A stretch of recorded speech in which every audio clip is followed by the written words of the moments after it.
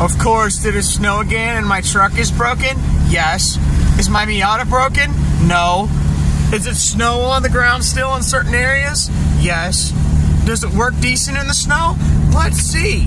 It's not terrible, especially once you get it going, it's not too bad. So, can it drive in the snow? Yes. Do I recommend it? Absolutely not. But we're going to send it. Drive safe today, boys. If you aren't confident in driving in the snow and you haven't driven much in the snow, please, please stay off the road as much as you can.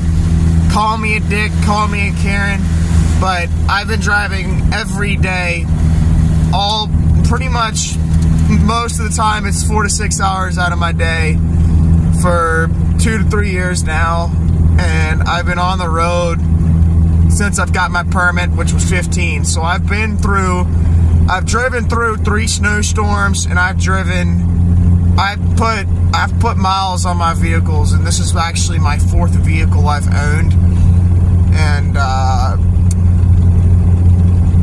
I've never really had any issues. I was kind of natural at driving. Am I the perfect driver? Nobody is. But am I confident? Most freaking definitely. I know I can drive in the snow.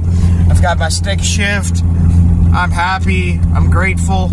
And, you know, even though my truck's broken, I know that just in case of an emergency, I'm thankful for all of you plow truck drivers. Huge shout out to you guys. And, uh, you know, the DMV doesn't get a lot of snow. So I know y'all are making bank right now.